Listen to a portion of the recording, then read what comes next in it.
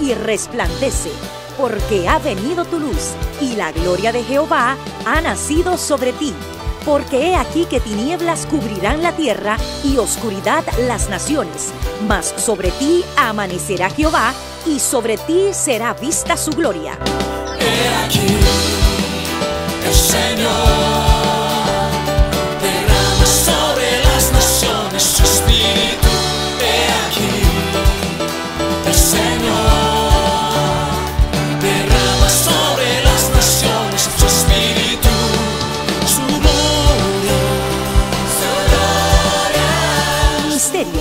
Amanecer de la esperanza, presenta su programa Voz de Restauración con el pastor Juan Radamés Fernández.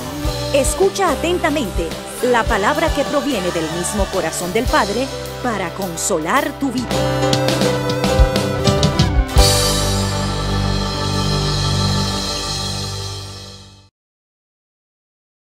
Bendito es el Señor nuestro Dios y Padre, mi hermano, mi hermana, qué alegría que estamos contactados a través de este medio. Te saludamos en el nombre del Señor y en nombre de nuestra congregación, el Ministerio del Amanecer de la Esperanza. Te damos la bienvenida a nuestra programación Voz de Restauración. Oramos a Dios para que por medio de la palabra lleve a tu vida inspiración, también poder, unción y todo lo celestial para que tu vida sea muy edificada en este día. Es nuestro deseo y nuestra oración en Cristo Jesús, Señor nuestro. Aleluya. Amén, amén. Amados, vamos a la palabra. La lectura bíblica se encuentra en el libro del profeta Ezequiel, capítulo 23, del 1 al 4 y luego leeremos el versículo 35 hasta el 39. Dice aquí el versículo 1, vino a mí palabra de Jehová diciendo, hijo de hombre, hubo dos mujeres, hijas de una madre, las cuales fornicaron en Egipto, en su juventud fornicaron, allí fueron apretados sus pechos, allí fueron estrujados sus pechos virginales, y se llamaban la mayor Aola, y su hermana a Oliva, las cuales llegaron a ser mías y dieron a luz hijos e hijas. Y se llamaron Samaria, Aola y Jerusalén a Oliva. Versículo 35 dice, por tanto, así ha dicho Jehová el Señor, por cuanto te has olvidado de mí y me has echado, y me has echado tras tus espaldas, por eso lleva tú también tu lujuria y tus fornicaciones. Y me dijo Jehová, hijo de hombre, no juzgarás tú a, Ola y a Oliva y les denunciarás sus abominaciones, porque han adulterado y hay sangre en sus manos y, y han fornicado con sus ídolos y aún a sus hijos que habían dado a luz para mí hicieron pasar por el fuego quemándolos. Aún esto más me hicieron, contaminaron mi santuario en aquel día y profanaron mis días de reposo. Pues habiendo sacrificado sus hijos a sus ídolos, entraban en mi santuario el mismo día para contaminarlo. Y he aquí, así hicieron en medio de mi casa. Que Dios nos bendiga por medio de la palabra. Dejo con ustedes el versículo 35. Por tanto, así ha dicho Jehová el Señor, por cuanto te has olvidado de mí y me has echado tras tus espaldas. Y eso es lo que estamos ministrando desde el domingo pasado para acá. Hace ya meses estamos predicando por mandato del Señor acerca de la dispersión y hemos estudiado que Dios tiene como, diríamos, como conducta dispersar a su pueblo cuando su pueblo no sabe vivir en su presencia. Lo hizo con Lucifer y los ángeles caídos, los echó del cielo, de su presencia. Echó a nuestros padres también, Adán y Eva fueron dispersados, salieron del, Edén. Lo mismo hizo Dios con Caín, dice que lo hizo lo mandó al exilio. Lo hizo de la misma manera con los habitantes de Sinar o de Babel. Lo hizo también con Israel y con Judá. En el caso de Judá, varias veces. Eh, hubo también exilios eh, en el aspecto personal.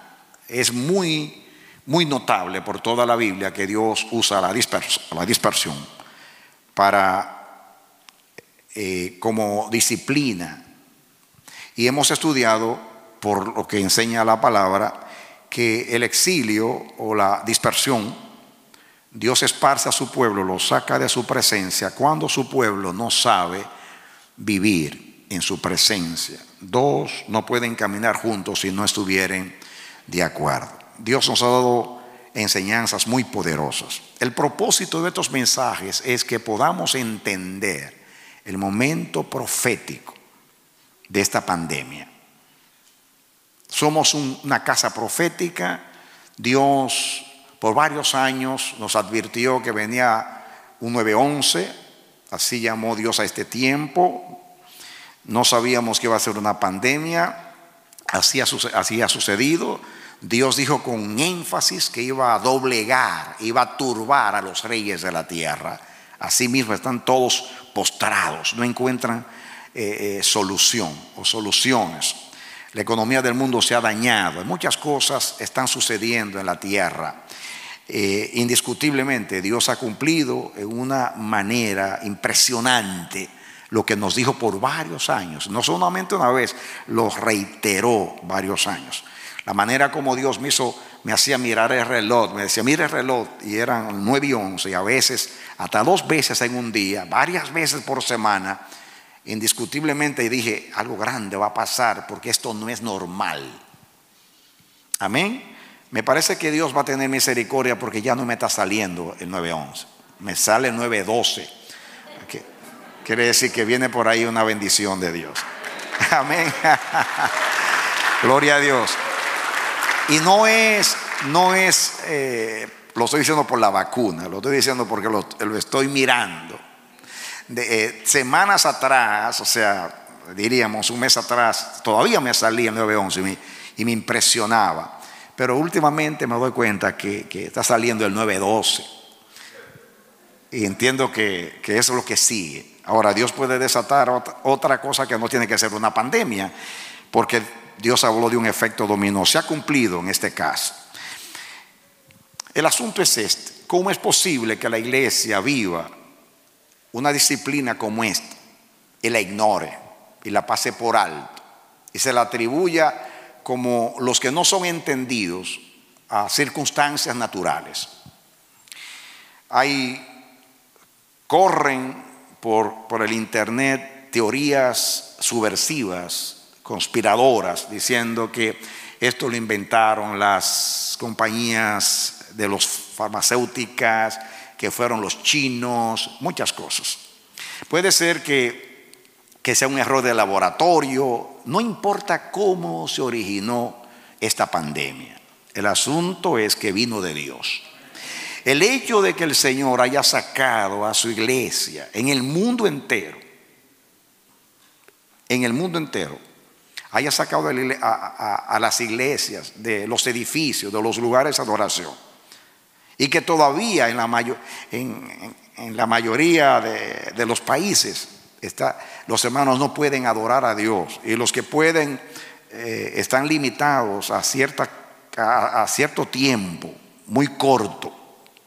Y ha habido hasta protestas, algunas iglesias han demandado a los estados, ha llegado hasta la Corte Suprema y me da mucha tristeza porque no han entendido. Están interpretando que le están quitando sus derechos. Yo sé que hay una actitud negativa hacia las iglesias, entiendo todo esto, pero no nos podemos perder en circunstancias y en factores naturales. Tenemos que mirar al soberano Dios.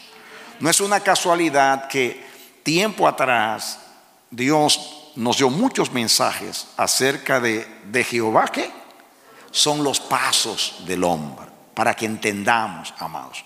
No es una casualidad que Dios nos ha quitado a nosotros tres ministros de, la- tribu del reino. Yo estoy meditando, cavilando, cuestionando. No me conformo con decir, sí, así sucedió. No, no. Si hay algo, quiero que el Señor me lo revele. Porque si camino con Dios, tengo que entender a Dios. Si Él no me lo quiere revelar, porque no es necesario, amén. Pero es nuestro el cuestionar, es nuestro el indagar, el inquirir, el pesquisar. Amén. Y por eso estamos acá.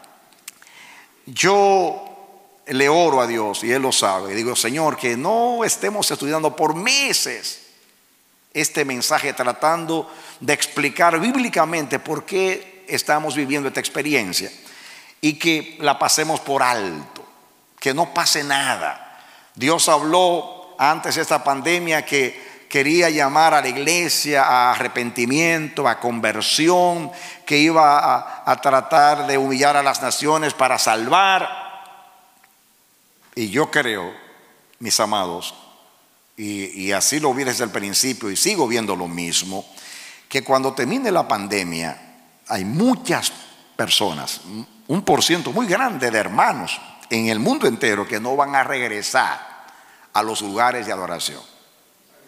Se acostumbraron tanto a estar sin adoración, o sea, colectiva, que no van a volver a adorar a Dios. Ah, Escuchen, esa es la mala noticia. La buena es que miles y miles en el mundo, miles y miles de inconversos, impactados por lo que Dios ha hecho a las naciones, vendrán y llenarán los edificios. Amén.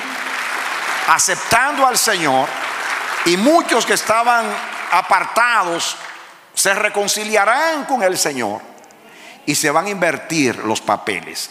Los que estaban acá estarán allá y los que estaban allá vendrán acá. Y no estoy hablando de nosotros solamente, estoy hablando de la iglesia en el mundo. Eso es lo que he visto en mi espíritu. Amén.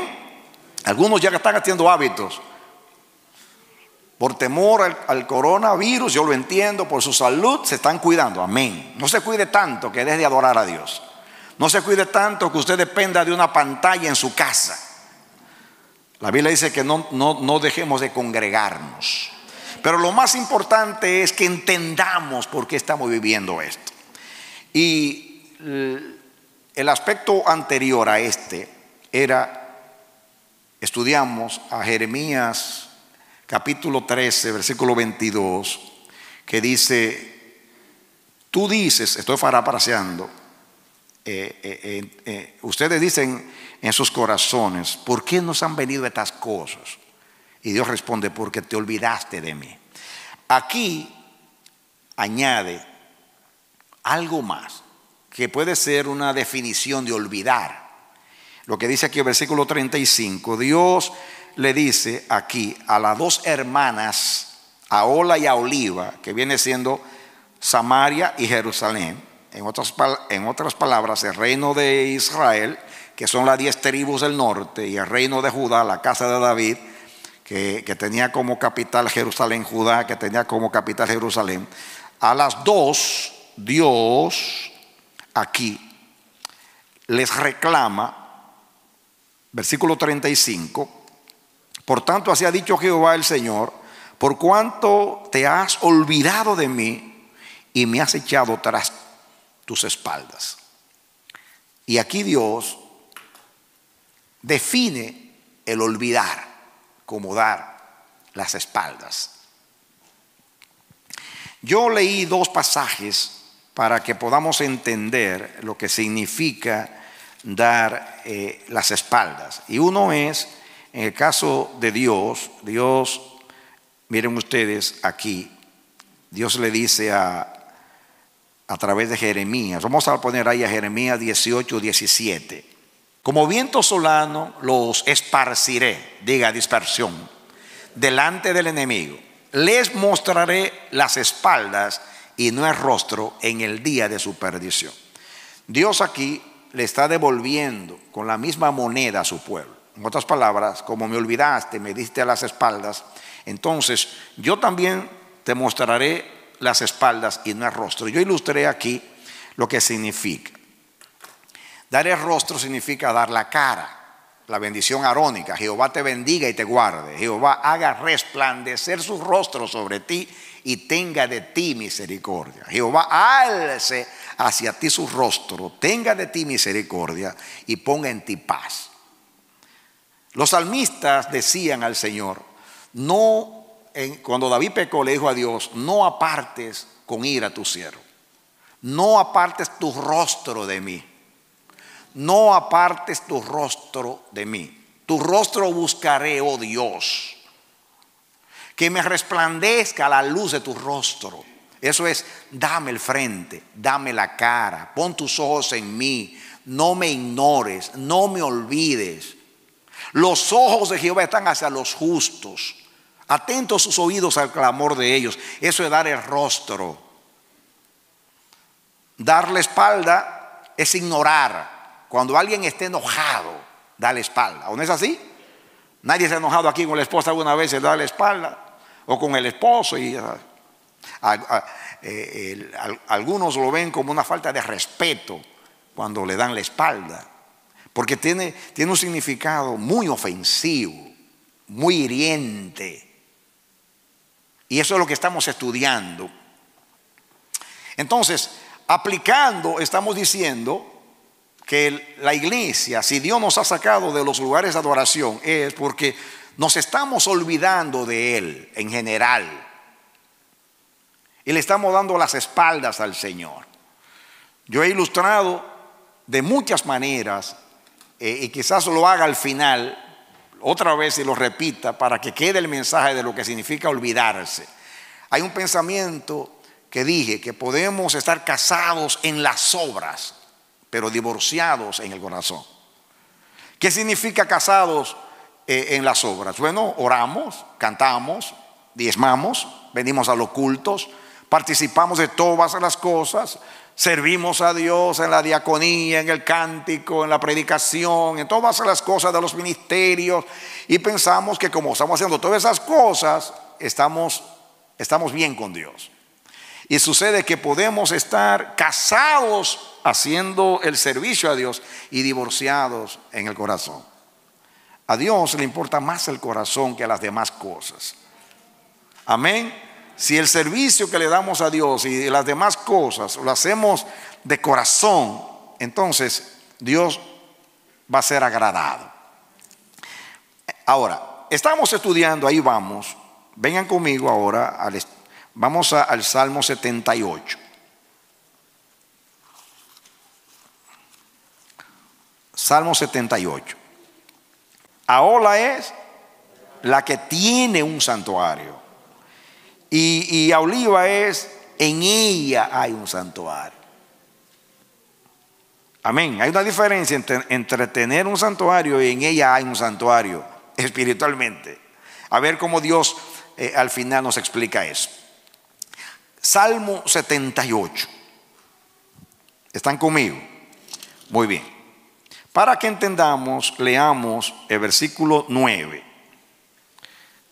Muy bien. Ya saben que en el contexto Dios está hablando a su pueblo y está hablando de, por ejemplo, el 5 dice, Él estableció testimonio en Jacob y puso ley en Israel, la cual mandó a nuestros padres que la notificasen a sus hijos, para que lo sepa la generación venidera. Y los hijos que nacerán y los que se levantarán lo cuenten a sus hijos. Es el, el propósito de Dios, que su trato, su pacto pase de generación en generación. El 7, a fin de que pongan en Dios su confianza. Y escuchen, y no se olviden de las obras de Dios. ¿Y no qué? Amén. Es parte del plan de Dios con nosotros de que no nos olvidemos y estas palabras que yo te hablo las enseñarás a tus hijos, a los hijos de tus hijos, y las pondrás en tu puerta, en tu frente, en tus manos. Eso es para que no te olvides de Jehová tu Dios. Dice aquí, a fin de, que pongan en Dios su confianza y no se olviden de las obras de Dios, que guarden sus mandamientos y no sean como sus padres, generación contumaz y rebelde, generación que no dispuso su corazón. ¿No dispuso qué? El problema de olvidarse es un problema del corazón. La rebelión viene del corazón, el amor nace en el corazón. Dice, ni fue fiel para con Dios su, espíritu. Hacían todas las cosas, pero sus corazones, su espíritu estaba lejos de Dios. Ahora viene el mensaje a Efraín. Dice, versículo 9, los hijos de Efraín, diga, diga. Aola, Aola era Efraín. Efraín eran las diez tribus del norte. Vamos a estudiar eso. Las diez tribus del norte. Cuando murió Salomón, el reino se dividió en dos reinos. Diez tribus se fueron al norte. El primer rey fue Jeroboam. Y la casa de David se quedó con dos tribus, la tribu de Judá y la de Benjamín. ¿De acuerdo? Y, el hijo de Salomón era Roboán, se aparecen los nombres, Jeroboán, Efraín, las diez tribus, y Roboán, Salomón, David, Judá. Aquí dice, los hijos de Efraín, arqueros armados, volvieron las espaldas en el día de la batalla. Estamos explicando qué significa dar la espalda o las espaldas, tirar hacia, las espaldas. Y dice aquí que los hijos de Efraín, que eran arqueros armados, volvieron las espaldas en el día de la batalla. Explicamos que aquí no está hablando de una batalla literal. Dice el versículo 10, no guardaron el pacto de Dios. O sea, está usando una metáfora, está hablando un lenguaje figurado. Porque en la vida real, darle, dar las espaldas es cobardía. Dice aquí, no guardaron el pacto de Dios ni quisieron andar en su ley. Así que le dieron las espaldas al pacto y a la ley de Dios. No quisieron andar eh, eh, en, su ley. No Noten la palabra guardar y andar. Guardar y andar. Yo puse, yo puse lo que es andar. Usted puede andar caminando hacia Dios dando el rostro, puede dar la espalda y tomar un camino contrario al de Dios, que es lo que significa la palabra convertirse. Convertirse es dar la vuelta. Eh, voy por el camino del pecado, del mundo, de la carne. Aquí encuentro a Jesús entonces me retorno a Dios. Doy la, la vuelta, le doy la espalda al mundo, a la carne, al pecado y ahora sigo al Señor. Dar, convertirse es darle rostro a Dios seguir a Cristo, seguir al Señor. Lo contrario es olvidar, porque olvidar significa extraviarse. Literalmente la palabra la estudiamos. El primer significado de olvidar en hebreo es extraviarse. Significa estar ajeno a, no dar la atención a algo o perder la memoria. Y se puede perder la memoria espiritual como yo dije, podemos tener los ojos, podemos tener los oídos, podemos tener las manos y los pies activos en el camino de Dios. El corazón bien olvidado de Dios, dando, la espalda al Señor. Entonces, fíjese, aquí Dios aplica, hablando en lenguaje figurado, que los arqueros de Efraín dieron las espaldas en el día de la batalla, o sea, ignoraron a Dios, no guardaron el pacto, versículo 10, ni quisieron andar en su ley, sino, oigan bien, que se olvidaron de sus obras, que es dar las espaldas, olvidarse, en este caso de las obras del pacto y de las maravillas. Miren lo que dice eh, el 11, sino que se olvidaron de sus obras y de sus maravillas que les había mostrado. Olvidaron el pacto, la ley las obras y las maravillas, todo lo de Dios. Cuando le damos la espalda a Dios nos olvidamos de las maravillas. O sea, todas las cosas gloriosas que Dios ha hecho en nuestras vidas desde el día que se apareció a nosotros. Es increíble que alguien se pueda olvidar de todas esas cosas, como sucedió con Israel en el desierto, que olvidaron lo que Dios hizo en Egipto, lo que Dios hizo en el Mar Rojo, y, y aún lo que hizo frente a sus ojos por 40 años en, en el desierto. Ahora, miren, amados, quiero que pasemos a Primera de Reyes en el capítulo 14. Primera de Reyes capítulo 14. Aquí habla de Efraín. Muy bien, vamos allá. Vamos a, ir, vamos a seguir hablando, viendo el ejemplo de Efraín para que entendamos. Primera de Reyes, capítulo 14.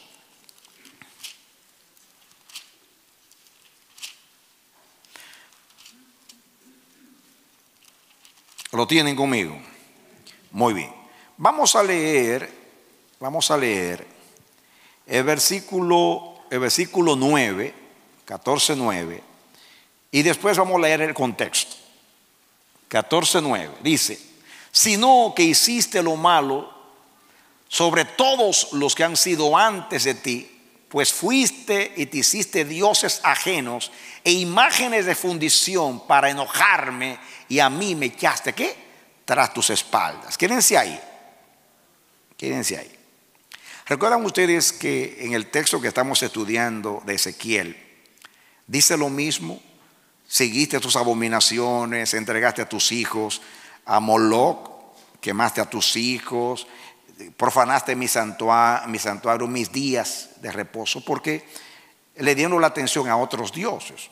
No era que Israel no adoraba a Dios. Israel casi siempre adoraba a Dios, o sea, a, Jehová o a Yahweh, siempre. El pecado de Israel siempre no era que no adoraba a Dios, sino que adoraba a Dios y adoraba a la vez a Baal. Adoraba a Dios y a la vez adoraba a Moloch. Adoraba a Dios y a la vez adoraba a Sera o a cualquiera de los dioses cananeos. Usted dice, no, pero yo le sigo al Señor. Es que no es suficiente servir al Señor. Es al Señor tu Dios solo adorarás. A Él solo servirás. Ya si le sirves a otra cosa que no es Dios, ya Dios lo interpreta y lo considera como olvidarse de Él, como tirarlo tras las espaldas. Entonces, este pasaje aquí, que lo vamos a leer ahora para estudiarlo, habla completamente cómo comenzó el reino del norte, Efraín. Para que entendamos, entendamos y eh, ya les dije, por no, para no leerlo todo, eh, miren el capítulo 12 de Primera de Reyes, versículo 23.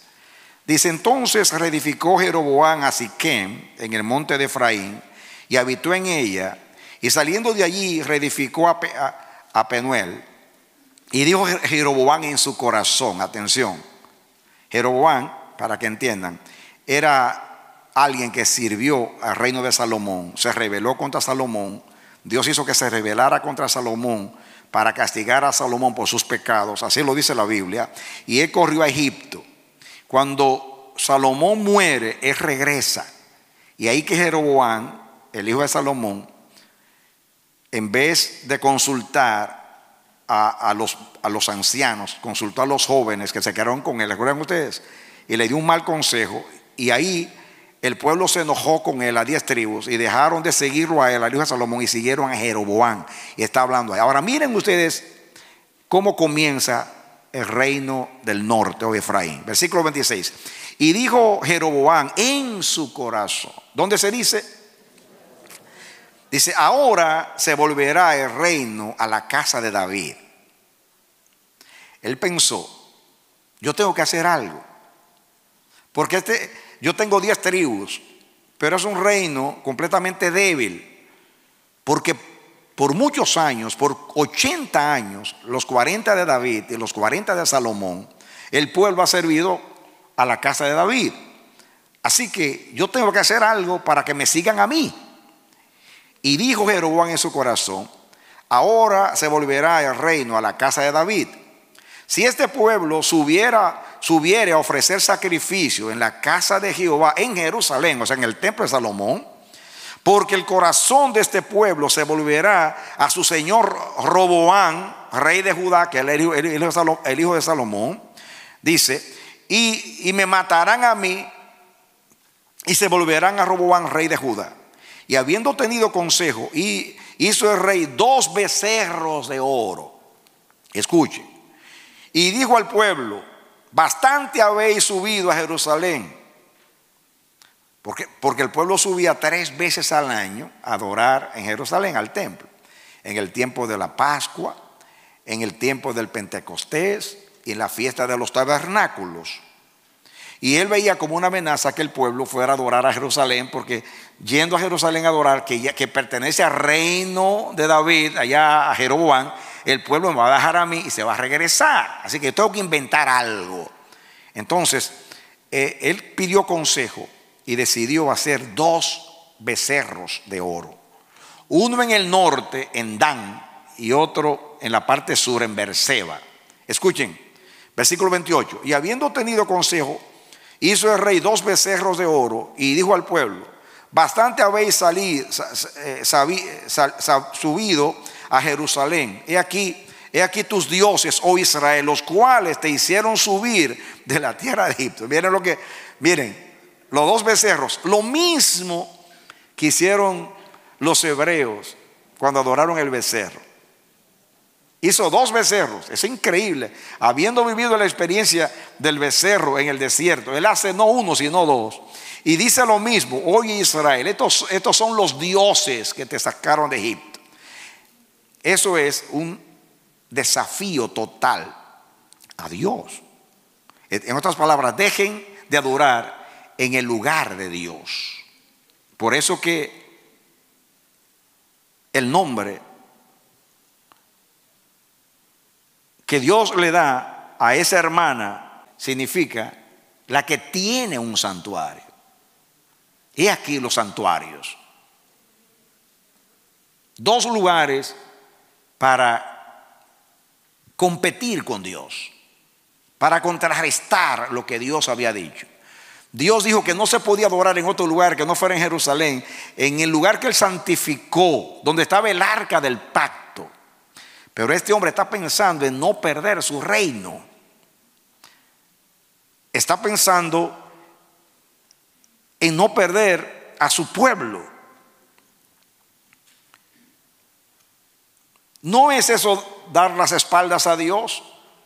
Diciendo que esos dos becerros fue que sacaron a Israel de Egipto, atribuyéndole a esos dos demonios las obras de Dios.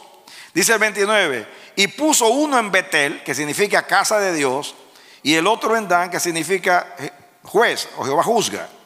Y esto fue causa de pecado, porque, porque el pueblo iba también, dice aquí, el 30. Y esto fue causa de pecado porque el pueblo iba a adorar delante de uno hasta Dan. Hizo también casa sobre los lugares altos e hizo sacerdotes de entre el pueblo que no eran de los hijos de Leví. Entonces instituyó Jeroboam fiesta solemne en el mes octavo, cuando nunca hubo fiesta en el mes octavo, sino en el séptimo, y a los 15 días del mes, conforme a la fiesta solemne que se celebraba en Judá, y sacrificó, y, sacrificó sobre un altar, e hizo en Betel ofreciendo sacrificios a los becerros que había hecho. Ordenó también en Betel sacerdotes para los lugares altos que él había, que él había fabricado.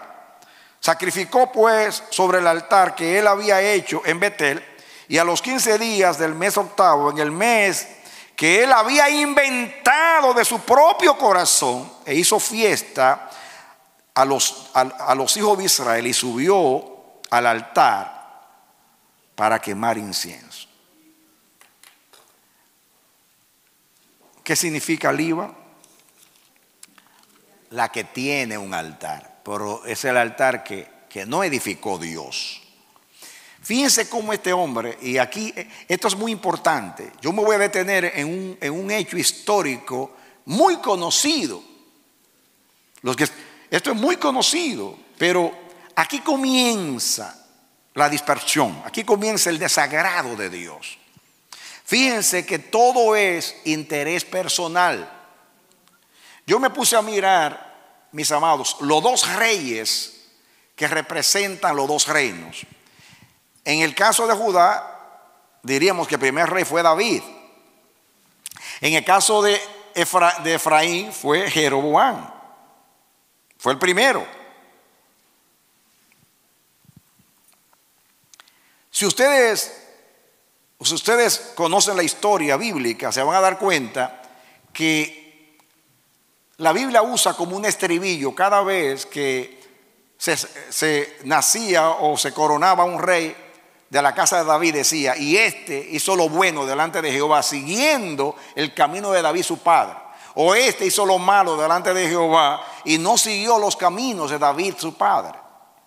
Pero cuando se habla de, de Efraín, de aquí, de la casa de Israel, de las diez tribus, dice como un estribillo la Biblia, y este siguió el camino de Jeroboam, el que hizo pecar a Israel. Y lo repite hasta el cansancio. Y por más de 200 años no hubo un solo rey en el norte, uno solo que agradara a Dios. No hubo uno solo que no siguiera las abominaciones paganas de los pueblos. Pero repite, este siguió el camino de Jeroboam, el que hizo pecar a Israel. ¿Cómo hizo pecar a Israel? Pues dándole las espaldas a Dios. ¿De qué manera? Cambiando el culto. Cambió el lugar de adoración. Por eso, aliva significa. ¿Qué significa? La que tiene un santuario. El suyo. El que inventó. No el de Dios. Se puede decir que Aliva es la que tiene, la que tiene un santuario, la que tiene un sacerdocio, la que tiene sus propias fiestas, porque este ordenaba sacerdotes que no eran de la tribu de Leví y adoraba en el lugar que no era el lugar donde Dios había establecido.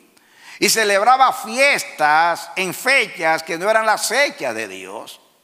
Todo eso para que su calendario y su programa de adoración no coincidiera con el de Dios, para que el pueblo no regresara a Dios por temor a perder su reino. Y van a ver en el espíritu de Jeroboam que es, es posiblemente la causa mayor por la cual alguien le da la espalda a Dios. Dice que andaba buscando, diga, sus propios intereses. El temor a perder la influencia, el temor a perder la autoridad, el temor a que no me sigan, el temor a, a que no me admiren, el temor a que no me respeten, el temor a que no me nombren, el temor a que no me reconozcan. En otras palabras, busco lo mío y no lo que es del Señor. Ahora, pasen conmigo al capítulo 13 y miren el versículo 33.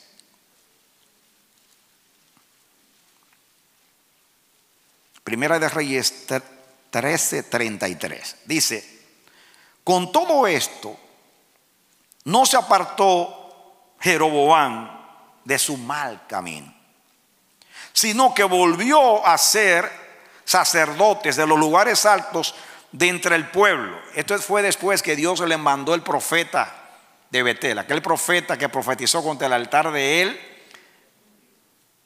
y él quiso matar al profeta y se le secaron las manos y oró al profeta para que el profeta orase por él, el profeta oró por él, Dios le restauró las manos. Y después de un milagro así, un testimonio así, era para que se convirtiera.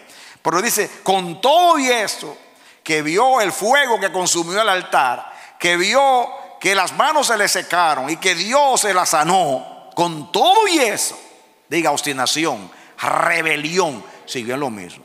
Porque alguien que ve un profeta que dice, que dice lo que pasó, ese hombre dijo, dentro de, dentro de unos años o, muchos años se levantará un, un, rey llamado Josías y va a destruir este altar. Y 300 años después se levantó el rey. Cuando se quiso levantar contra este profeta, lo narra todo el capítulo 13, vino fuego de Dios, amado. Y Dios secó las manos de Jeroboam. Y rogó al profeta que orase a Jehová y oró y Dios le restauró las manos.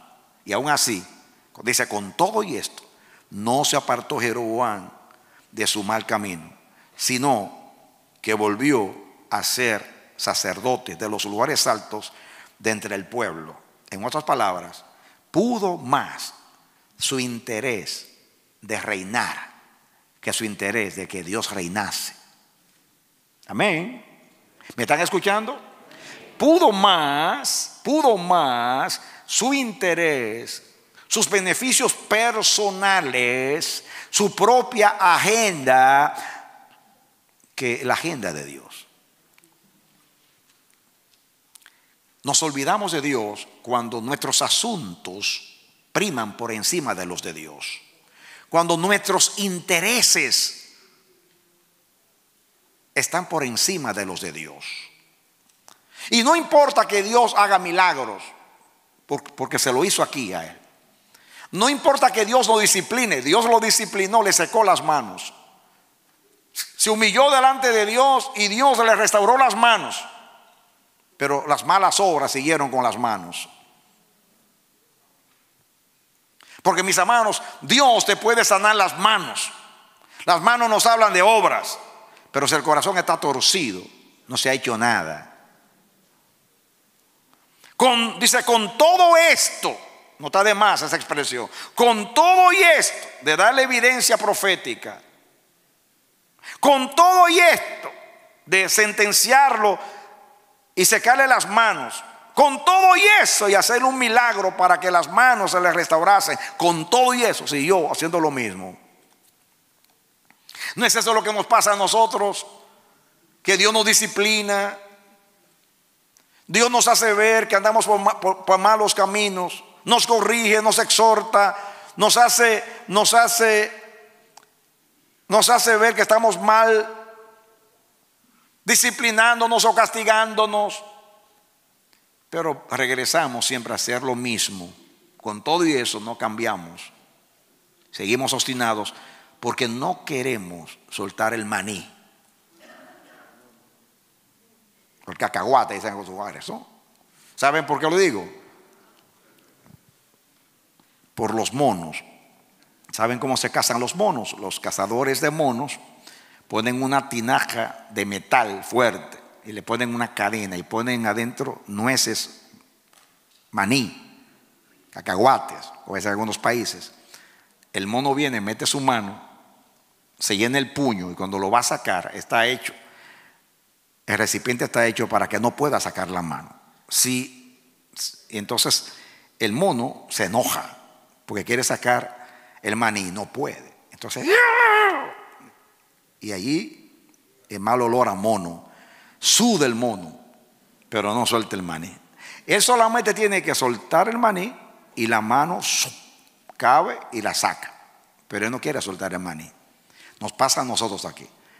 Queremos al Señor, pero no soltamos el maní. No soltamos la atadura. Porque estamos muy atados a lo que sea, al interés. Nos gusta eso. Estamos adictados a eso. Somos adictos a eso. No queremos perder ese placer, ese honor. Pero dice, al Señor tu Dios solo adorarás, a Él solo servirás, a Él solo temerás y solo por su nombre jurarás. Dale un aplauso al Señor.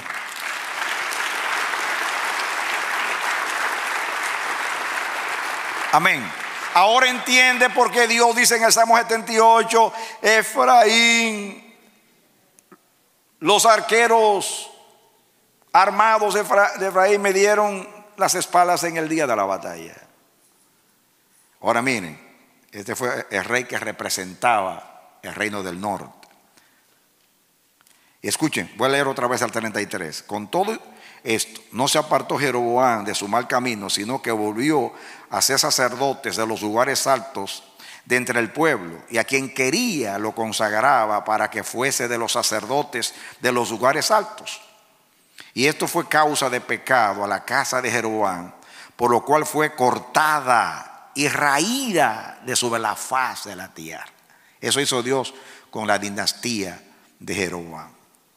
Capítulo 14, entramos en tema. En aquel tiempo, Abías, hijo de Jeroboam, cayó enfermo. Sucede que el profeta Ahías, que lo van a leer más tarde, en el capítulo 12, se le apareció a Jeroboam y le dijo, tú vas a reinar y yo te voy a entregar 10 de, las 10 de las tribus y vas a reinar en el norte. Y Dios le dijo a Jeroboam lo mismo que le dijo a David a través del profeta. Si tú obedeces y tus hijos, yo te voy a entregar el trono para siempre. Así le dijo a Saúl también. Dios, aunque Saúl fue elegido por el pueblo, Dios no le negó la promesa. Dijo a Saúl, si tú guardas mis mandamientos y tus hijos, yo, el trono es tuyo. Así le dijo a Jeroboam. Ahora, 14.1. En aquel tiempo Abías, hijo de Jeroboam, cayó enfermo. Sucede que todo rey en la antigüedad quería asegurar su reino. Y el reino se asegura cuando hay descendencia, cuando hay linaje, con un hijo que se siente en el trono. Pero el hijo llamado Abías estaba enfermo de muerte. Escuchen, dijo Jeroboam a su mujer, levántate, levántate ahora y disfrázate para que no te conozcan que eres la mujer de Jeroboam. Y ve a Silo. Ayer, ayer que estaba el santuario de Jehová, al principio. Porque allá está el profeta Ahías. Ahías. El que me dijo que yo había de ser rey sobre este pueblo. Ve y disfrázate. Y toma en tu mano diez panes y tortas y una vasija de miel y ve a él para que te declare lo que ha de, ser de este niño. Noten ustedes, mis amados, el espíritu religioso. Ya ustedes vieron lo, cómo cambió el lugar de adoración, el sacerdocio, las fiestas, todo para que el pueblo no se vaya en pos de Jeroboam y en pos de Judá. Ven el Espíritu que Dios hace un milagro grande y le manifiesta su desagrado con el altar a través del profeta. Se ablanda por el momento. Cuando le hacen el milagro sigue la misma rebelión y obstinación. ¿No se parece eso a nosotros? Quizás no tan abiertamente así, pero esa es la condición de, de los que le damos las espaldas a Dios. Ahora, miren el engaño. Miren lo que dice aquí. Escuchen, que esto es muy importante. En aquel tiempo Abías, hijo de Jeroboam, estaba enfermo. Y dijo Jeroboam a su mujer, levántate ahora y disfrázate para que no te conozcan que eres la mujer de Jeroboam. Y ve a Silo porque allá está el profeta Ahías, el que me dijo que yo había de ser rey sobre este pueblo. Y tome en tu mano diez panes y tortas y una vasija de miel y ve a él para que te declare lo que ha de ser de este niño. Y la mujer de Jeroboam lo hizo así y se levantó y fue así, lo y vino a la casa de Ahías. Y ya, y ya no podía ver a Ahías porque sus ojos se habían oscurecido a causa de su vejez. Me paro acá. Me paro acá. La alevosía, la intención malvada de Jeroboam es muy notoria en este pasaje. Estaba contento con Abías, el profeta, porque este fue el profeta que Dios envió para decirme que yo iba a reinar. Y se cumplió la palabra, estoy reinando. Ahora le dice a la mujer, disfrázate. Como yo tengo mala fama, y el profeta sabe que yo me desvié y que ya yo no sigo a Jehová. Yo no quiero que me dé una profecía parcializada, prejuiciada, porque se trata de mí. Disfrázate. Así no sabe quién está en su presencia. Y cuando profetice sobre el niño me va a decir algo bueno, porque no sabe que, es, que es mi hijo. Y algo que le favorecía y que posiblemente, si hubiera sabido eso, no se disfraza, porque ahí se estaba ciego. Dice que no veía por causa de la vejez. ¿Para qué disfrazarse delante de un ciego?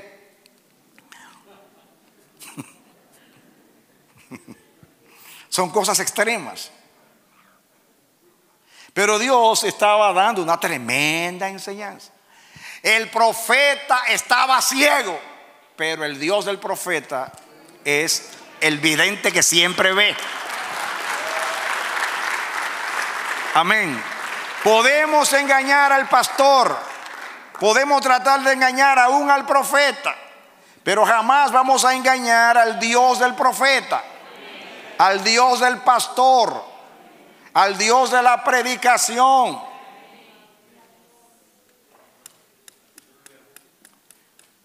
¿Cuántos disfraces? ¿Cómo nos disfrazamos para venir a la presencia de Dios, amados?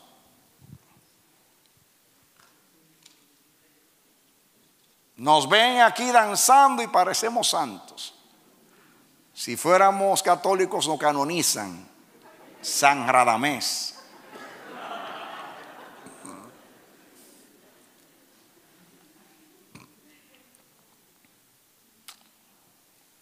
¿Saben cómo se llama espiritualmente al disfraz?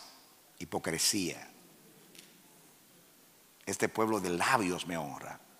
Su corazón está lejos de mí. ¿Por qué estoy leyendo esto? Porque estoy hablando de, de, Aliva, donde hay un santuario. Un santuario que hizo un hombre. Un culto que no es de Dios. Si la iglesia, si Dios ha sacado a la iglesia de los templos o lugares de adoración, está pasando algo muy parecido. Se le está dando la espalda a Dios. hay un santuario. Hay un santuario. En, en, este caso, un santuario que Dios no hizo. Un sacerdocio, un sacerdocio que Dios no instituyó.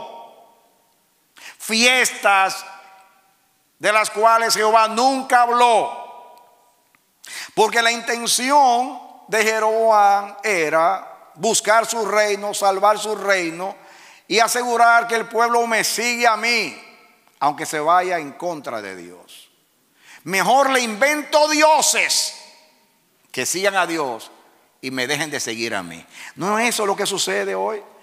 Que los ministros no nos importa desviar al pueblo de Dios con tal de que nos sigan a nosotros. ¿No es eso lo que está sucediendo en el ministerio hoy? Díganme si no es eso lo que está sucediendo. Si todo extravío ministerial no está basado en eso. Todo está basado en eso. En, hacer grandes estructuras, infraestructuras, en tener ministerios grandes, en, en apoderarnos de los medios de comunicación, en proyectar una imagen de excelencia, de grandeza, de crecimiento, de muchas cosas de, sustraer lo que es de Dios, de robarle a Dios la gloria, de robarle a Dios al pueblo de Dios, de enriquecerse y lucrarse por medio del pueblo de Dios. Todo eso para hacer un nombre. Mega Church, Mega Ministry, espíritu de grandeza. Pero, ¿cuál es el medio? ¿Cuál es el medio?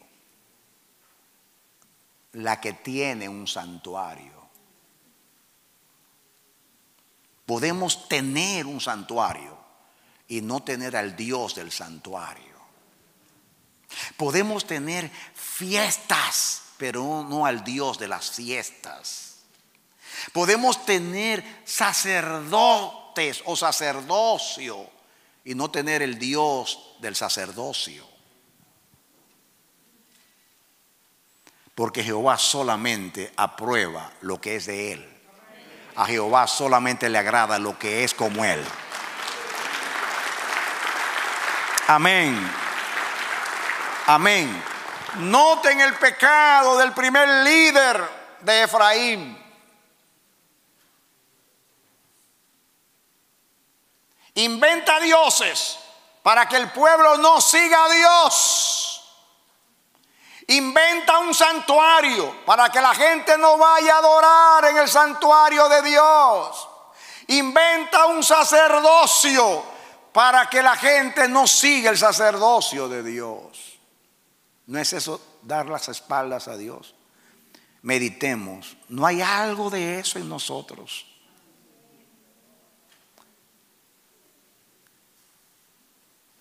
No hay algo de eso en nosotros. Pero seguimos. ¿No es eso la hipocresía que queremos? Este hombre le rogó al profeta que le sanara las manos. El profeta le sanó las manos. Rogó por él, le sanó las manos. Dios le hizo un milagro. Dios amaba a Jeroboam. Ahora sucede que si muere este hijo se queda sin descendencia. Y va donde el profeta. Pero como él sabe que el profeta no le va a profetizar nada bueno, se disfraza. ¿Cómo alguien puede ser tan ingenuo, tan tonto, de creer que se puede disfrazar delante de Dios? ¿No es eso lo que hizo Adán, que se escondió de Dios? ¿No es eso lo que nosotros hacemos nos escondemos detrás de las excusas, de las defensas psicológicas, culpando al ambiente, culpando a los demás. Inventamos tantas cosas para apartarnos de Dios y justificar nuestra manera de vivir y de actuar sabiendo que estamos lejos de la vida de Dios, ajenos a la vida de Dios. Hermanos, hablo esto y créanme que tiemblo por dentro. Tiemblo porque yo no soy diferente a ustedes. Eh, o a cualquiera de los santos de Dios. Yo no practico el pecado, pero yo soy pecador. Nadie es fuerte por su propia fuerza. Solamente la misericordia de Dios nos libra del mal. Dios no te pide fuerza porque Él sabe que tú no tienes ninguna. Dios no te, no, te, no, te, no, te pide, no te pide victorias porque sabe que tú no la puedes ganar por ti mismo. Dios simplemente te dice, dame, hijo mío, tu corazón. Otras palabras, dame el corazón y el resto lo hago yo. Pero este hombre aquí dice que pensó en su corazón. Siempre le engaño maquinado en la mente. No se puede buscar la gloria nuestra y simultáneamente la de Dios. No podemos obedecer a Dios y a la vez obedecernos a nosotros mismos o al mundo o cualquier otra cosa. Hermanos, en la Biblia Dios es muy radical. Al Señor tu Dios solo adorarás, a Él solo servirás, a Él solo, por Él solamente jurarás. Y Jesús dijo, el que no es conmigo está en contra. El que no dejare padre, madre, mujer, hijo, trabajo, por seguirme a mí no es digno de mí. Dios es radical, porque Dios es uno. Y Dios cuando, cuando se entregó, se entregó totalmente. Y cuando se dio, se dio a través del Hijo. Dios no sabe tener una relación a medias. Dios cuando se entrega, te entrega totalmente. Por eso demanda y exige totalidad en el servicio. Dios cuando ama del corazón. Y cuando entra en pacto pide el corazón.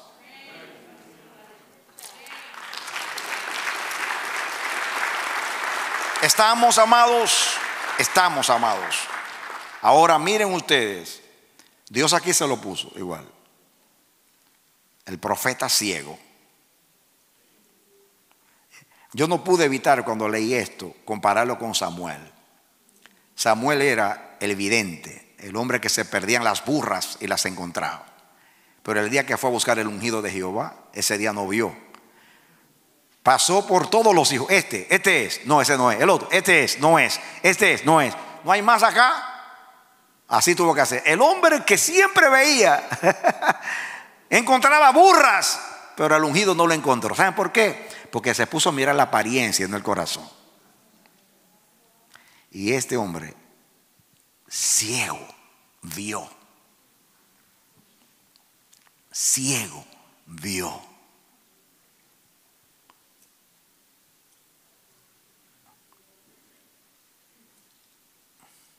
Porque Dios habla al Espíritu.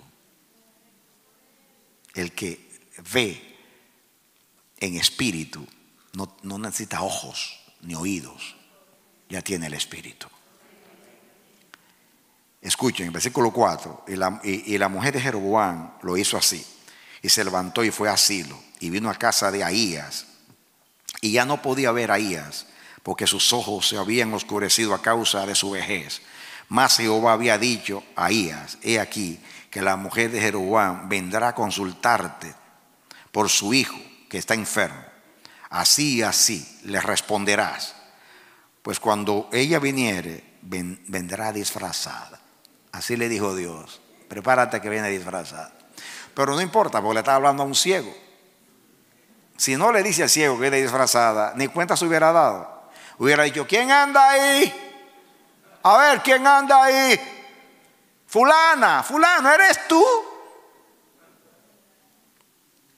Pero tenía el Espíritu Santo.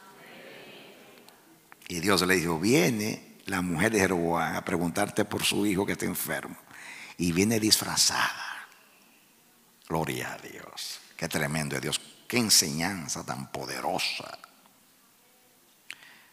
Versículo 5. Más Jehová había dicho, Ahías, he aquí que la mujer de Jeroboam vendrá a consultarte por su hijo que está enfermo. Así, así le, responderás, pues cuando ella viniere, vendrá disfrazada. Cuando Ahías oyó el sonido de sus pies, y al entrar ella por la puerta, dijo, entra mujer de Jeroboam. Dale un aplauso Señor.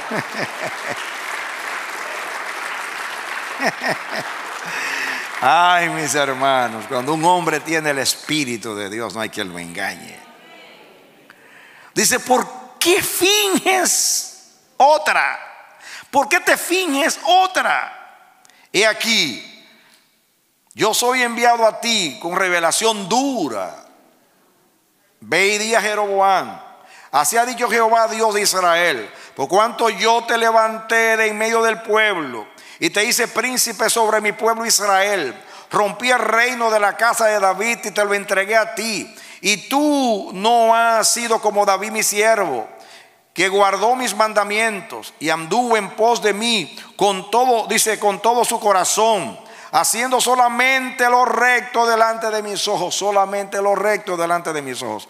Mire que David hizo tantas tonterías, pero Dios solamente se acuerda de las buenas y siempre se olvida de las malas. Por eso dijo solamente, porque solamente. Se olvidó del pecado con una mujer, se olvidó del censo y dijo solamente me obedeció. Qué lindo es Dios. Cuando perdona se olvida de esas cosas. Sino que hiciste lo malo sobre todos los que han sido antes de ti pues fuiste y te hiciste dioses ajenos e imágenes de fundición para enojarme. A mí me echaste, ¿qué cosa? Tras tus espaldas. Aunque lo hizo Jeroboam, lo estaba haciendo Aliba, lo estaba haciendo Efraín. Por tanto, he aquí, he aquí, que yo traigo mal sobre la casa de Jeroboam y destruiré de Jeroboam todo varón así el siervo como el libre en Israel. Barreré la posteridad de la casa de Jeroboam como, como se barre el, estiércol hasta que sea acabada. El que muera de los de, los Jeroboam en, la ciudad dice lo comerán los perros y el que muera en el campo lo comerán las aves del cielo porque Jehová lo ha dicho. Y ahí sigue eh, eh, eh, hablando el profeta, mis amados. Pero que de versículo 9, sino que hiciste lo malo sobre todos los que han sido antes de ti, pues fuiste y te hiciste dioses ajenos e imágenes de fundición para enojarme y a mí me echaste tras tus espaldas. Noten que siempre que habla de dispersión, de olvidarse de Dios, y en este caso, echar a Dios tras las espaldas, siempre dice el por qué. Me, me han dejado a mí y se han ido en pos de otros dioses. Cuando alguien deja a Dios para irse en pos de otros dioses, acuérdense que modernamente dioses no son imágenes de madera o de metal, sino todo lo que sustituye a Dios. Cuando usted llega a ese extremo, es porque ya su corazón se ha apartado de Dios, se ha distanciado de Dios. Olvidarse de Dios, mis amados, es dar las espaldas.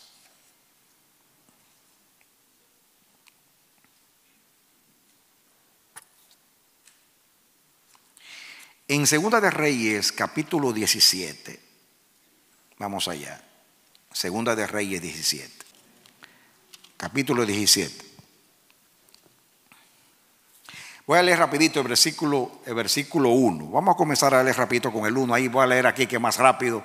En el, dice aquí, en el año duodécimo de Acaz, rey de Judá, comenzó a reinar Oseas, hijo de Ela, en Samaria, sobre Israel. Vea, Samaria es Aliva, Israel es el reino. El último rey fue Oseas y reinó nueve años. E hizo lo malo ante los ojos de Jehová, aunque no como los reyes de Israel que habían sido antes de él. Contra este subió Salmanasar, rey de los asirios, y Oseas fue hecho su siervo y le pagaba tributo. Sigan. Mas el rey de Asiria descubrió que Oseas conspiraba. Noten ustedes que el último rey, el último rey de Judá, que fue Manasés, le juró por Jehová a Nabucodonosor que iba a ser fiel, hizo lo mismo que Oseas. Conspiró, porque había enviado embajadores a So, rey de Egipto, y no pagaba tributo al rey de Asiria, como lo, como lo, hacía, lo hacía cada año. Por lo que el rey de Asiria le detuvo y le aprisionó en la, en la casa de la cárcel. Y el rey de Asiria invadió todo el país y sitió a Samaria y estuvo sobre ella tres años duró el sitio. Sigan. En el año nueve de Oseas, el rey de Asiria tomó Samaria y llevó a Israel cautivo a Siria y los puso en Amad, en, Abor, junto al río Gozán y en las ciudades de los Medos porque los hijos de Israel pecaron contra Jehová su Dios, que los sacó de la tierra de Egipto, debajo de la mano de Faraón, rey de Egipto, y temieron, dice, y temieron a, dioses ajenos. Y anduvieron en los estatutos de las naciones que Jehová había lanzado de delante de los hijos de Israel, y en los estatutos que hicieron los reyes de Israel. Y los hijos de Israel hicieron secretamente cosas no rectas contra Jehová su Dios, edificándose lugares altos en todas sus ciudades, desde las torres de las, atalayas hasta las ciudades fortificadas, y levantaron estatuas e imágenes de acera en todo el collado alto y debajo de todo algo frondoso, y quemaron allí incienso en todos los lugares altos, a la manera de las naciones que Jehová había traspuesto de delante de ellos, e hicieron cosas muy malas para provocar a ir a Jehová. Que sigue. Y servían a los ídolos de los cuales Jehová les había dicho, vosotros no habéis de hacer esto. Jehová amonestó entonces a Israel y a Judá por medio de todos los profetas y de todos los videntes, diciendo, volveos de vuestros malos caminos y guardad mis mandamientos y mis ordenanzas conforme a todas las leyes que yo prescribí a vuestros padres y que, y que os he enviado por medio de mis siervos los profetas. Mas ellos no obedecieron, antes endurecieron su servicio, como la serviz de sus padres, los cuales no creyeron a Jehová su Dios. Y desecharon sus estatutos y el pacto, diga el pacto que él había hecho con sus padres y los testimonios que él había prescrito a ellos y siguieron la vanidad y se hicieron vanos y fueron en pos de las naciones que estaban alrededor de ellos y de las cuales Jehová les había mandado que no hiciesen a la manera de ellas Dejaron todos los mandamientos de Jehová su Dios y se hicieron imágenes fundidas. dice, de dos becerros y también imágenes de acera y adoraron a todo el ejército de los cielos y sirvieron a Baal. E hicieron pasar a sus hijos y a sus hijas por fuego y se dieron a adivinaciones y agüeros y se entregaron a hacer lo malo ante los ojos de Jehová, provocándole a ira. Jehová, por tanto, se airó en gran manera contra Israel y lo, paran ahí, y los quitó de delante de su rostro y no quedó sino solo la tribu de Quédense ahí. Y los quitó delante de qué? De su rostro. Dejen el texto ahí. Vieron al principio cómo comenzó con, el espíritu de Jeroboam el reino del norte, Oliva, la que tiene un santuario. Y, y Aola, perdón, yo hace tiempo cambiándole el nombre. Aola, Aola, Aola, gracias por corregir. Aola. Aola, la que tiene un santuario. Y leímos allá que el pecado fue que se fueron en pos de los dioses le dieron el rostro a los dioses y las espaldas a Dios. Ahora Dios, después que hace la lista de sus pecados, que en resumen es dejar el pacto, dejar a Dios, dejar la relación, olvidarse de Dios, que es extraviarse, y, dar las espaldas a Dios. Aquí dice, y los quitó de delante de su rostro. ¿Los qué? Párense ahí.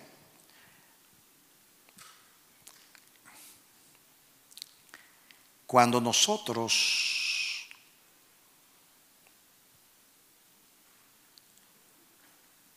tomamos la iniciativa y nos olvidamos de Dios, la consecuencia es que Dios de la misma manera se olvida de nosotros. Cuando digo olvidarse, escuchen, estoy hablando en cuanto a la relación. Estoy aplicando la palabra. Porque en Cristo Dios nunca se va a olvidar de ti. Está hablando, estoy hablando de la relación, del trato de Dios con su pueblo. ¿De acuerdo? Como a Israel nunca dejó Dios a Israel. Pero lo trató como si lo hubiera olvidado. ¿De acuerdo? Porque aun cuando los envió a las naciones, allá estuvo con ellos. Y aun cuando los envió a Babilonia, allá les envió a Daniel, a Ezequiel, allí en el exilio. Nunca los dejó sin palabra, porque Dios no abandona a su pueblo. Estoy tomando el lenguaje figurado de la Biblia. Dios nunca va a tomar la iniciativa para darnos la, para darnos la espalda. Nunca. Dios da la espalda cuando antes le damos la espalda. ¿Qué yo di? Dios nunca va a tomar la iniciativa para darnos las espaldas. Dios nunca va a virar el rostro sin que antes nosotros lo viremos. Fíjense, Él es el último en darle espalda, pero es el primero en dar el rostro.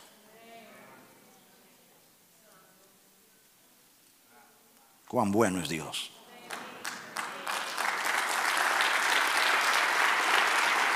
Amén. Cuando nosotros nos olvidamos de Él y nos extraviamos y le, y le damos las espaldas y lo tiramos tras las espaldas, entonces Él hace esto. Quita el rostro de nosotros. Él siempre dice, pero si allá en el exilio, en la dispersión, tú vuelves tu corazón a mí, yo me volveré a ti. Pero es bueno que sepan que cuando nosotros volvemos el corazón a Dios es porque Él previamente ya ha hecho una obra en nosotros. Nadie vuelve el corazón a Dios si Dios no le toca, si Dios no le trata, si Dios no le convence, si Dios no le transforma, si Dios no lo cambia de actitud, si Dios no lo trata sea con disciplina, de una u otra manera Dios te va a decir, mírame rostro, mírame rostro, mírame rostro. pero siempre la iniciativa de la reconciliación es de Dios. Siempre. Aunque Él dice, vuélvete a mí, yo me volveré a ti. Al final de cuentas, nadie se vuelve a Él sin que Él se vuelva primero a nosotros.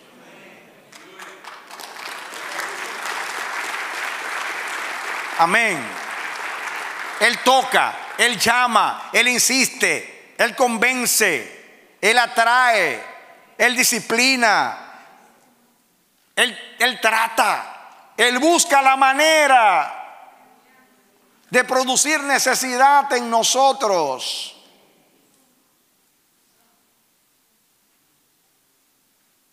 Y después de eso, ¿qué? Dice, y desechó Jehová toda la descendencia de Israel y los afligió y los entregó en manos de saqueadores hasta echarlos de su presencia. Wow, esa es la dispersión, echarlos de su presencia. Pero ya, ya en este caso, Efraín lo había echado a él. A Ola ya había echado. Ya Ola se fue con su ola. se echó mar adentro con su ola. Antes de que Dios los echase de su presencia. Ahora, mis amados, si estudiamos esto, lo que le pasó a Ola Efraín, que es lo mismo. Sigue en el versículo que sigue, para completar. Porque separó a Israel de la casa de David y ellos hicieron rey a Jeroboam, hijo de Nadad, y Jeroboam apartó a Israel de en pos de Jehová. ¿Quién lo hizo? Y les hizo cometer gran pecado. Y los hijos de Israel anduvieron en todos los pecados de Jeroboam que él hizo, sin apartarse de ellos hasta que Jehová quitó a Israel delante de su rostro. Qué terrible. Dice, como él lo había dicho por medio de todos los profetas, sus siervos, e Israel fue llevado cautivo de su tierra a Siria hasta hoy. Diga, dispersión. Ven el proceso. Nos extraviamos, nos olvidamos de Dios, le das, lo tiramos tras las espaldas. Entonces Dios nos, nos quita el rostro, nos manda. Amados, detengámonos aquí. Yo puedo seguir predicando, leyendo textos, pero parémonos acá. No saben cómo estoy afectado delante de Dios estos meses. Desde que predicamos el mensaje profético, que ya en marzo, en la, fiesta, comenzamos a relacionarnos con esta pandemia, todos estos meses que hemos pedido seres tan queridos.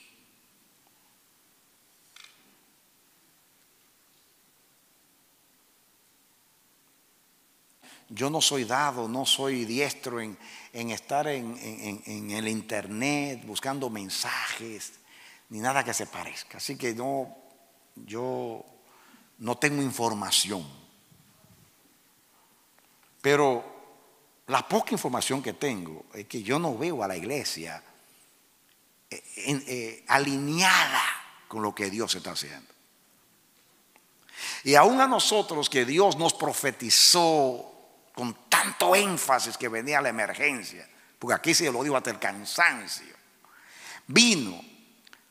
Yo no conozco un ministerio que Dios le haya llamado tres ministros, como ha pasado con nosotros. No lo conozco, puede ser que sí. Pero nosotros no tenemos relación como un, concilio grande que tienen miles de iglesias en las naciones. La relación nuestra es relativamente pequeña con hombres desde Argentina hasta España, pero nos llevó tres. Estoy hablando ministros, muy amados. ¿Por qué nos llevó tres? Yo digo, porque al que más se le da, más se le demanda. Entre más luz, más demanda. Y es misericordia. Porque es una manera de Dios sacudirnos, una manera de decir amanecer de la esperanza, ¿qué está sucediendo? No te elegí yo como casa profética y te di el texto de Isaías 61, levántate, resplandece, porque ha venido tu luz y la gloria de Jehová ha nacido sobre ti, porque aquí que tinieblas cubrirán la tierra y oscuridad las naciones, más sobre ti nacerá Jehová y sobre ti será vista su gloria. Nos ha amanecido amanecer de la esperanza. Así como Cristo ha amanecido a todo aquel que el Espíritu Santo ha iluminado con el conocimiento de la gloria de Dios en la faz de Jesucristo. El Dios que desde las tinieblas hizo resplandecer la luz, ese que ha resplandecido en nuestros corazones. Y aunque la luz ha sido para todo el cuerpo, no toda la iglesia tiene luz, tristemente.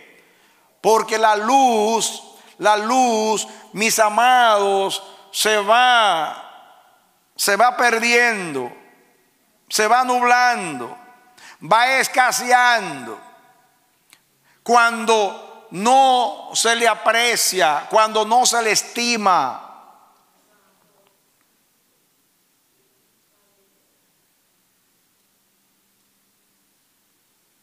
Algo grande está pasando en la iglesia. Es más sorprendente y más preocupante la pandemia espiritual, el virus de decadencia, de insensibilidad, de inercia que hay en la iglesia. Es más que el coronavirus. Porque este es el COVID-19. Pero la iglesia tiene siglos en decadencia espiritual.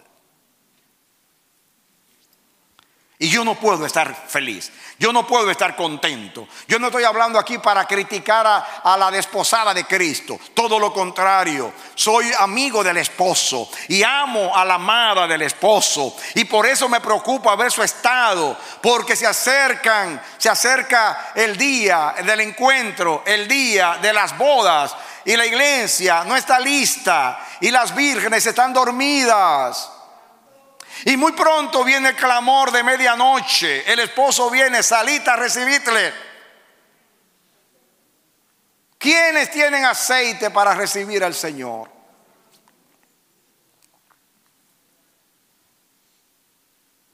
Nos dirá el Señor, estuve en medio de ti, no me conociste.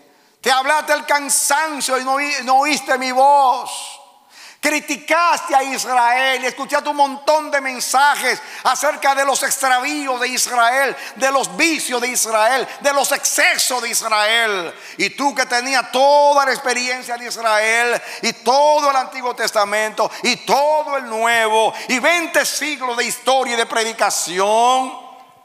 Y, y cuando Dios compara a las dos hermanas, a Ola y a Oliva, dice, Dios le dice, que me lo haga Israel, yo lo entiendo, pero que me lo hagas tú, Jerusalén, no lo entiendo.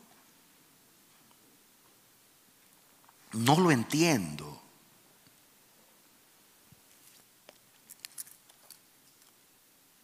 No lo entiendo. ¿Cómo comenzó este año? Este es un año muy extraño, muy raro, muy extraño. Este es un año paradójico. Dios nos dijo que desde el año 2000, todos estos años iban a ser proféticos. Recuerdan la experiencia de, 1999 con la computadora y el peligro que había de las computadoras, de lo que iba a pasar en el mundo y al final no pasó nada. ¿Recuerdan ustedes? Dios dijo que ese 2000 para acá iba a ser profético. Y, Dios en cada 31 de diciembre nos ha dado un mensaje y esos mensajes se han, se han cumplido impresionantemente. Ha hablado acerca de presidentes de esta nación como Clinton, como Bush. Profetizó el 9-11 de, de muchas maneras. Ha profetizó y ha profetizado sobre este presidente. No dijo Dios no dijo Dios que el día que esta nación, la Corte Suprema de Estados Unidos, legalizarse el matrimonio entre parejas del mismo sexo, el castigo a esta nación iba a ser ineludible o inevitable. No dijo Dios en las elecciones pasadas que iba a elegir a un insensato, porque solamente un insensato podía hacer lo que había que hacer para humillar, para humillar a los políticos del otro partido que son enemigos de Dios, cuya agenda es enemiga de Dios. Hollywood, la prensa ha arremetido contra todo el mundo. Solamente un insensato puede hacer esto. Pero Dios dijo lo siguiente. Después que lo use, voy a arremeter contra él. ¿Lo dijo o no lo dijo? Pero él iba a, meter a la nación en un gran problema. Y esta nación está en un gran problema. ¿Y saben cuál es el problema? La credibilidad. Que antes no la tenía, pero por lo menos en apariencia la tenía. Ahora no la tiene ni siquiera en apariencia. Porque el insensato se ha encargado de hacer dudar a la gente, aún del sistema de elecciones, de la CIA, de la FBI en contra de, sus propios aliados, una confusión total. Y la iglesia tonta sigue la, la mentira. El hecho de que el otro partido sea peor es como decir que los demonios son buenos porque el diablo es malo. A mí lo que me preocupa es que a la iglesia la están identificando con mentiras.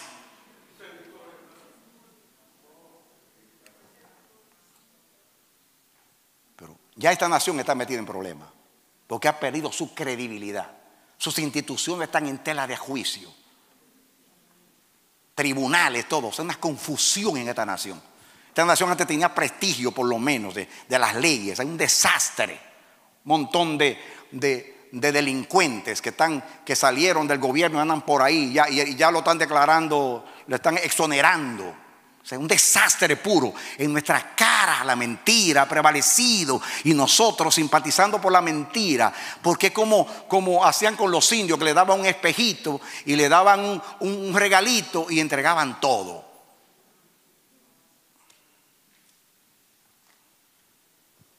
No hay político que esté a favor de la iglesia. Ninguno está a favor de la iglesia. El mundo y la iglesia son irreconciliables, hermanos. Y hace 20 siglos que, los, que los gobiernos de la tierra han traicionado a la iglesia porque a la iglesia le ha dado el corazón a los políticos. Todo se ha cumplido en nuestra propia cara y no lo hemos visto, ni lo queremos ver. Porque no, no analizamos lo espiritual. ¿Por qué no, no todo lo juzgamos por el espíritu? Este año comenzó mal. Dios no negó el mensaje profético el 31. No se lo negó. Me enfermó, me paralizó. Fue dado un mes y trece días después. Eso es extraño ya. Es para decir algo raro está pasando. Es un año paradójico porque Dios declaró el año de la liberación. Y no me digan que el coronavirus es liberación. Sí es liberación es liberación. Porque para, para Jacob ser liberado tuvo que pasar por la casa de Labán y Labán lavarlo. Nadie se salva si no está perdido.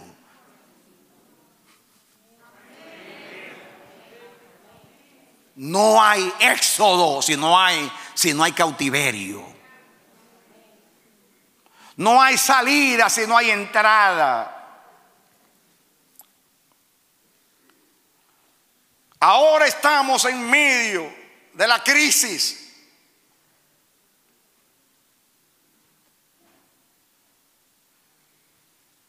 Y la crisis no es el virus. Esa es la condición de las naciones. Esa es la, condición de esta nación que le ha dado la espalda a Dios. Esa es la condición de las naciones de Europa que, donde se le ha dado la espalda a Dios.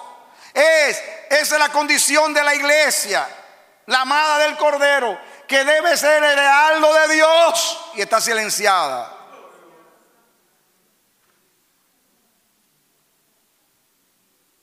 Que debe ser la luz y está oscurecida.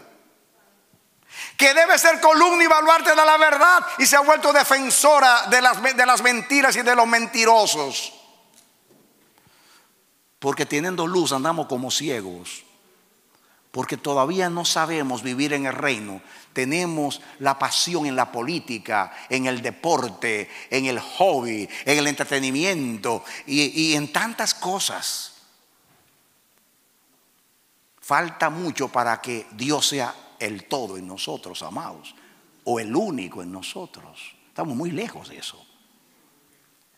Pero Dios profetiza que el día llegará donde habrá un solo rebaño y un solo pastor. Amén donde va a haber un solo corazón para Dios, donde la iglesia no va a estar dividida internamente, porque cuando el corazón se separa de Dios, nos separamos de los hermanos, nos separamos de la verdad, y la manera de volver a los hermanos, volver a la verdad, es, volver el rostro a Dios. Y volver el rostro a Dios es convertirnos Significa darle la espalda a todo lo que nos separa de Dios y darle rostro a Dios para que Dios nos dé rostro a nosotros.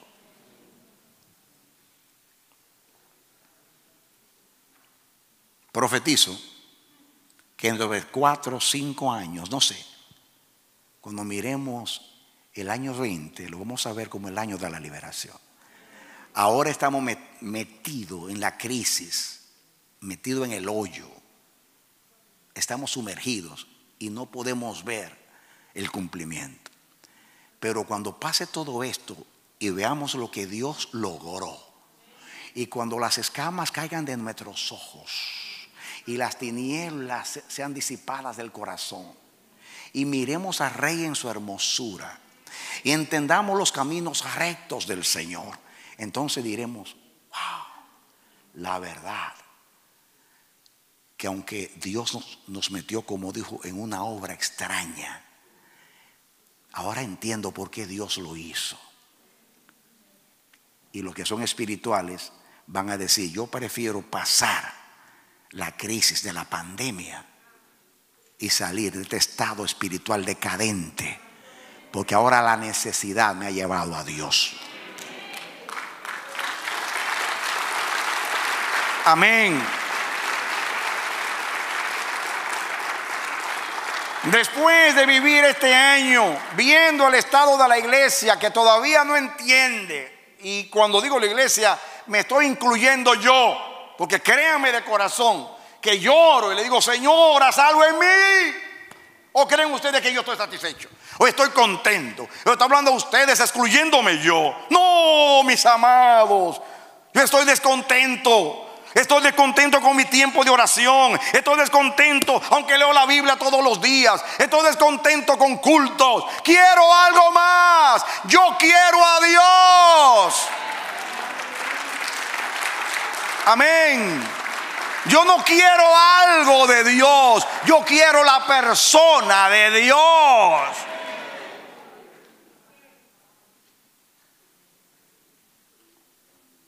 Y eso pido para la iglesia. Eso pido para la iglesia.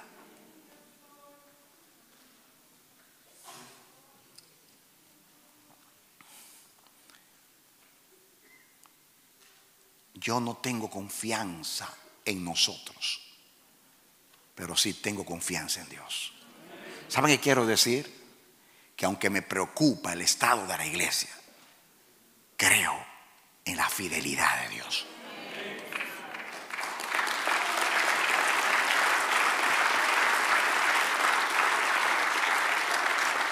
Aunque me preocupa el estado indiferente, apático de la iglesia y que no ha entendido el tiempo de su visitación, todavía confío en el amor, la paciencia y la fidelidad de Dios.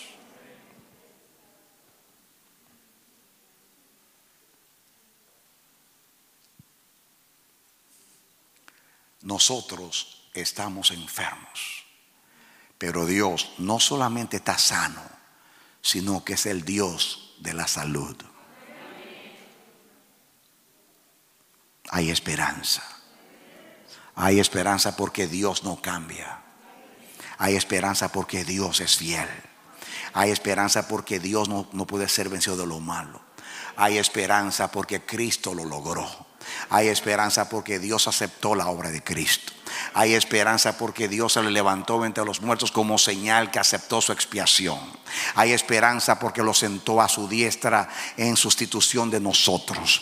Hay esperanza porque pronto le enviará desde el cielo. Hay esperanza porque el que comenzó la buena obra la terminará hasta el día de Jesucristo. Hay esperanza. Hay esperanza. Hay esperanza, amanecer de la esperanza. Hay esperanza. Y la esperanza no está puesta en ti, ni está puesta en mí. Esa es mi oración a Dios. Señor, tú sabes que no, tú no puedes depender de mí. Esto va a seguir, va a seguir igual si tú dependes de mí.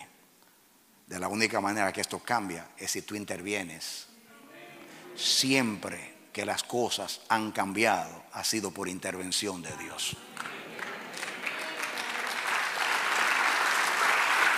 Siempre que las cosas han cambiado, han cambiado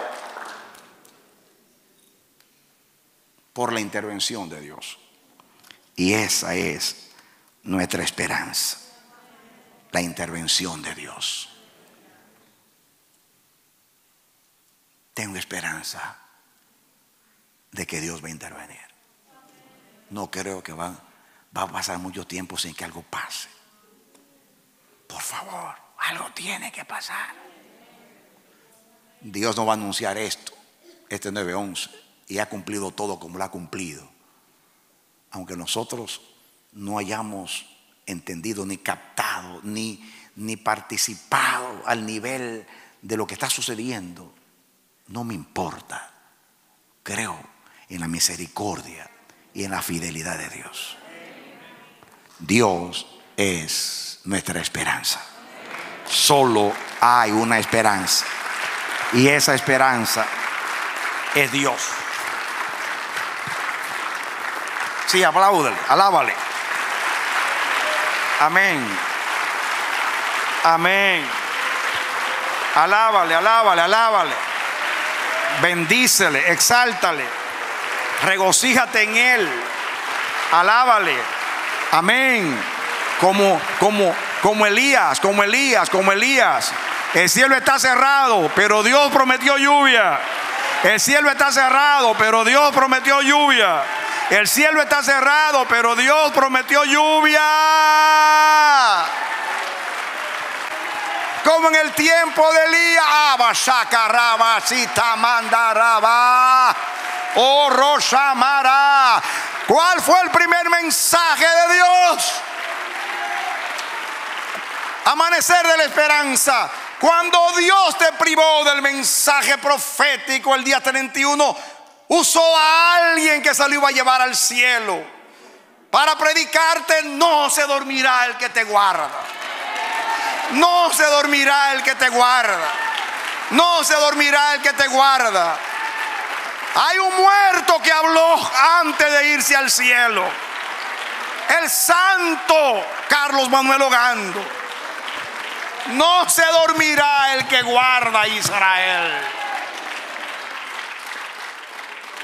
Una casualidad que habló y se fue para Dios hacer más verdad su verdad, se llevó al mensajero. Y aún así no levantaremos la cabeza. Aún así no se van a abrir nuestros ojos para entender. No es casualidad que estamos viviendo. Esto no es nada emocional. Dios nunca nos, da un mensaje si no nos sumerge en la palabra, estudiarla para entender los motivos íntimos del Dios fiel y verdadero.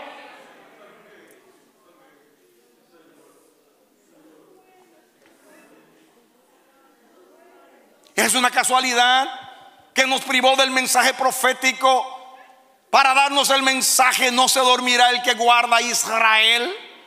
Y luego se lleva al mensajero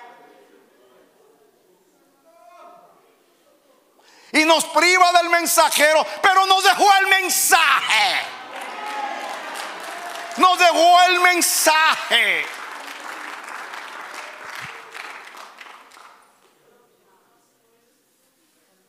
Nos habló de actitudes peligrosas para que desistamos de las mentiras, los rejuegos, los disfraces. Porque si la mujer es un tipo de la iglesia, ahí estaba la, esposa del líder que representaba, en este caso, a la iglesia, a Israel, disfrazada, porque el líder la mandó, disfrázate. Disfrázate. Disfrázate. Cuando el Señor se manifiesta, esa cara descubierta. A cara descubierta veremos la gloria de Dios. Cuando Dios del rostro no oculta nada. Oremos a Dios. Padre bendito, Dios eterno. ¿Por qué no nos escuchas esta vez? Esta iglesia tiene 30 años, 24 horas orando, Señor. Y no podemos decir de ninguna manera que ha sido en vano. Porque este, todavía existimos como iglesia y todavía hay palabra nueva y hay tantas cosas lindas entre nosotros, es porque tú eres fiel y tú oyes la oración. Pero Dios, queremos más. Te queremos a ti. Queremos más. Queremos más. Queremos volvernos totalmente a ti. Perdónanos que te hemos dado las espaldas. Te hemos tirado para atrás. Te hemos tirado para las espaldas. No, te estamos ocultando el rostro. Perdónanos, Dios. Perdónanos. Perdónanos.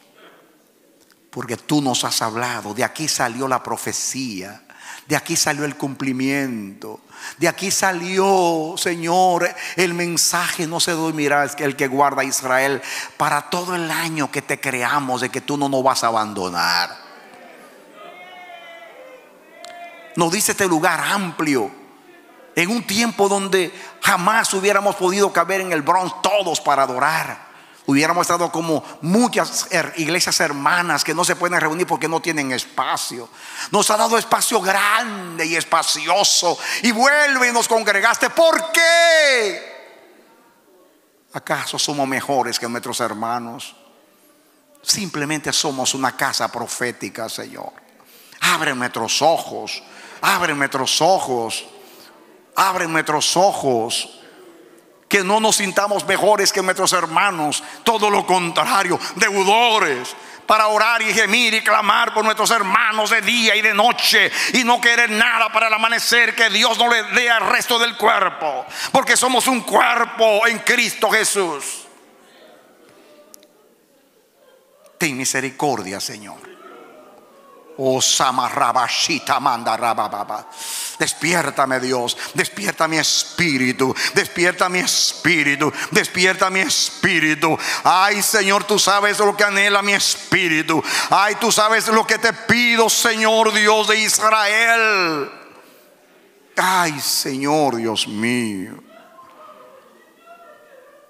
Oh, soy descontento, Dios.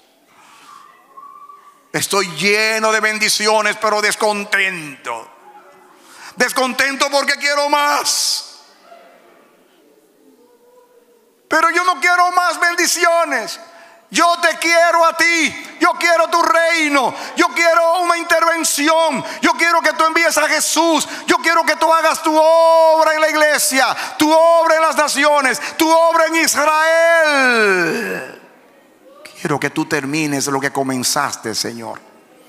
Millones han muerto por el testimonio de Jesús. Ay, Apocalipsis capítulo 6. Juan dijo, yo vi debajo del altar a los muertos por el testimonio de Jesús, que clamaban de día y de noche diciendo, ¿hasta cuándo, Señor, juez justo, nos hará justicia y vengarás nuestra sangre? ¿Cuántos millones murieron para que la verdad llegara a nosotros? Para que la Biblia la tuviéramos en tantas versiones y en tantos idiomas. ¿Cuántos tuvieron que morir? Y nosotros nos hemos conformado a este siglo. Perdóname Dios, perdona mi casa, perdona el amanecer de la esperanza, perdona tu iglesia, perdona Señor. Si el amanecer de la esperanza ha, pagado un precio tan alto, perdiendo a Manolo, Pastor Manolo, Pastor Jorge, Pastor Caleb Josué, es porque tú no vas a dar algo más grande, Señor. Porque en ti no hay pérdida, sino no hay ganancia. Del tamaño de la disciplina es el tamaño de la restauración. Si la disciplina es para participar de la santidad y nos ha costado tanto la disciplina, entonces lo que viene es demasiado grande. Danos la humildad, danos la conversión, danos el arrepentimiento, danos tal corazón para ministrar lo que viene. Que esta vez no te fallemos, Señor. Por favor. Por favor. Por favor, Señor. Por favor, Señor. Por favor, Señor. Ya basta, Señor. Te lo ruego, ya basta, ya basta, ya basta, ya basta. Acaba con las ataduras, acaba con los entretenimientos, acaba con todas esas, todas esas causas por las cuales te hemos dado las espaldas. Acaba con todo eso, Señor. Hoy queremos darte rostro. Hoy yo te quiero dar el rostro. Mi casa te dé rostro. El amanecer de la esperanza te dé rostro. Y espero que el resto de la iglesia en el mundo te dé rostro. Ministro que esté escuchando este mensaje, dale rostro a Dios. Iglesia que me escuchen las naciones, démosle rostro a Dios. Volvamos el rostro al Señor para que Él se vuelva a nosotros y Él pueda terminar lo que comenzó. Levanta tus manos. Levanta tus manos. Dios mío, Dios mío. La esperanza eres tú. Nuestra esperanza eres tú, Señor. Nuestra esperanza eres tú. Vengan los músicos. Sigue con las manos levantadas. En el nombre de Jesús. Vamos a cantar, a terminar con la misma canción del domingo pasado. Vamos a decirle al Señor, lávame en la sangre del Señor, límpiame de toda mi maldad. Rindo a ti mi vida, rindo a ti mi voluntad, rindo a ti mi tiempo, rindo a ti mis recursos. Señor Dios, dejo los ídolos, dejo los ídolos, dejo los ídolos, dejo los ídolos, dejo los ídolos para volverme a ti. Dejo, rabashita, manda. Dale un, dale un poco de tiempo más a tu Dios, que esto es de vida o de muerte, de vida o de muerte, de vida o de muerte. Sita manda, raba,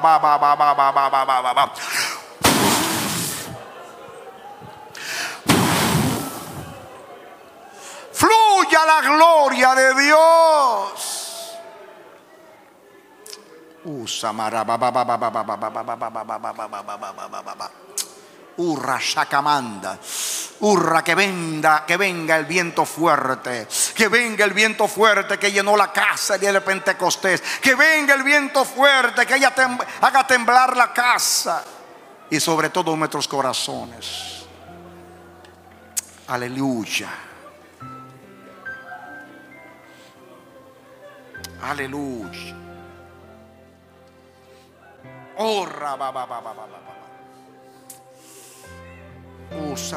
Ba, ba.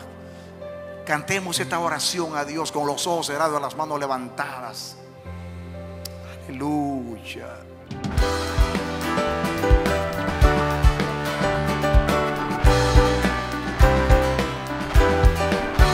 Este ha sido su programa Voz de Restauración. Si desea comunicarse con nosotros, escríbanos al PO Box 70, Bronx, New York 10473 o visita nuestra página web www.elamanecer.org. Nos despedimos hasta la próxima. Que Dios te bendiga.